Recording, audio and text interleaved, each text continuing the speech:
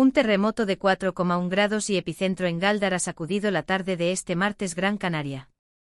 Según la información del Instituto Geográfico Nacional, IGN, el temblor se ha producido a las 19 horas y 20 minutos a 21 kilómetros de profundidad, en la zona norte de Galdar, al límite con la costa y la frontera con el municipio de Santa María de Guía.